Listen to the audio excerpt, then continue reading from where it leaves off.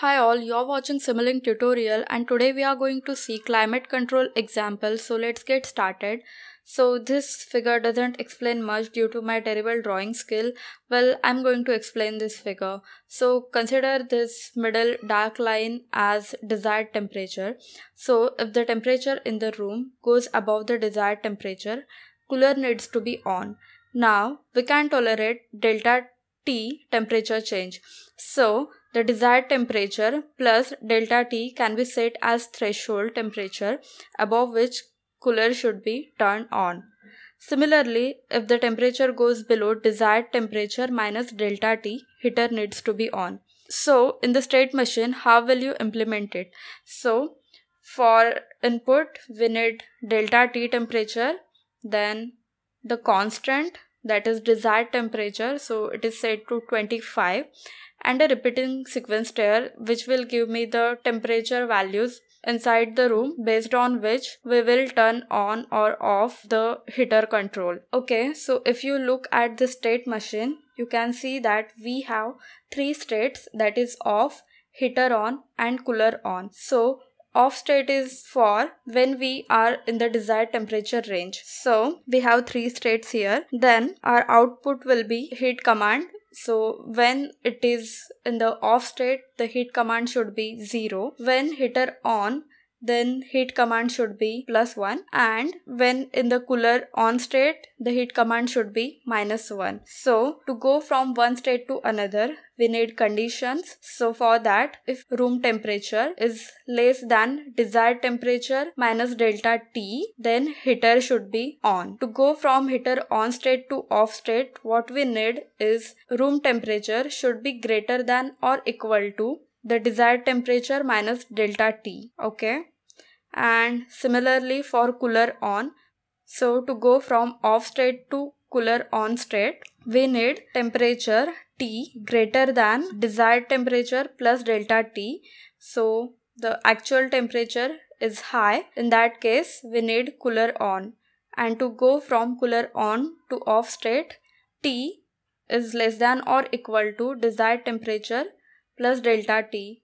So that's how we are going to control the heater control. Okay, so let's simulate this model. So if you see the first value is 30 and in that case the heater command is 0.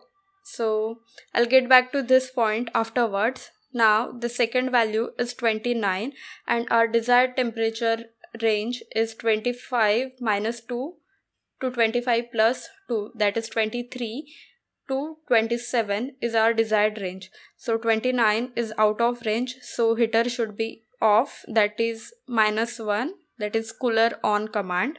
Then for 28 same minus 1 then 27 so 27 is the desired range temperature threshold so the heater command is 0 till the temperature is 23 so after 23 when it becomes 22 the heater command becomes 1 okay? And again when it goes in the range that is it goes to 23 again the heater command becomes 0 so about this first temperature value that is 30 in that case the heater command is 0 so this is the flaw in this design okay so why are we getting this output? So if you look carefully in this state machine the default condition is off. So this chart doesn't care about what is the first temperature value. It goes to default state. So whatever is your temperature whether it is out of range or in range at first run the output will always be zero. So how to avoid that? Okay so to do that I have modified this model. So if you look at this state machine, at this default junction, you can see these three conditions. So whichever condition gets satisfied, the execution goes to that state. Okay. So if the first condition is satisfies, that is temperature is less than the desired temperature, the heater should be on. Then second, if the temperature is greater than the desired temperature cooler should be on and any of this condition is not present, it will go to the off state. Now, if I simulate this model, here all the inputs are same as to the previous model. So if you see the first value is 30 and in this case the hitter command is minus 1. So the execution will enter the state based on the condition. So that's how we can design climate control using chart. So that's all for this video. If you like this video please give it a thumbs up and keep watching and keep learning